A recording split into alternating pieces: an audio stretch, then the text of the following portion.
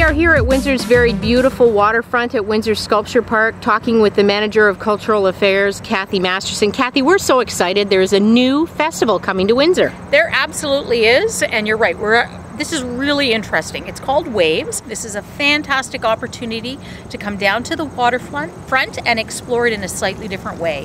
What are some of the things that people can expect when they take part in this festival? Well, this is a little bit of a weird and unique event. It's an opportunity for artists that are working outside of traditional mediums. So there's a lot of digital happening down here. There's a lot of uh, weird light action, a lot of weird sounds happening down here.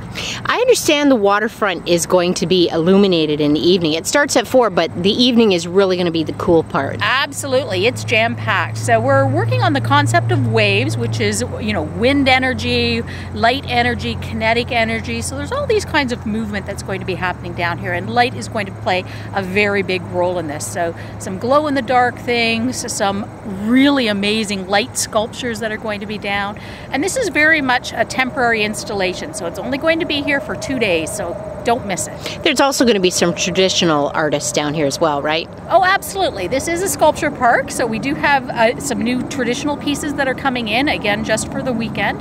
Uh, so we're going to have people down here that are painting. We're going to have a local sculptor who's bringing a piece in to show for the, the two days, um, and some traditional sounds happening as well as the non-traditional. So when, what time, and where?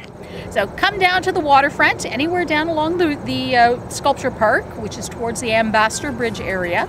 It is Friday, September 26th, Saturday, September 27th, from 4 o'clock in the evening right through till 11 o'clock at night.